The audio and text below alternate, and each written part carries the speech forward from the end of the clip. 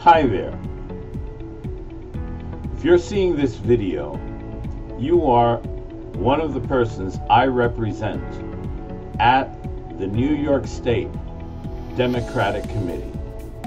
Yes, I'm one of those persons who decides what the rules are about how the Democratic Party works at the state level and, of course, at the county level.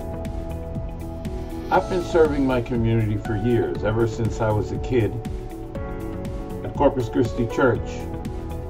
And uh, I was with the folk group there. Some of you might remember me, of course, with darker hair and a lot thinner. But now, the idea is that you can be in contact with me. Things are happening all over. You've got people wanting to change the rules as to how our party works. And I want you to know that I'm here for you, as I've always been, in Woodside, Jackson Heights, East Elmhurst, and Corona.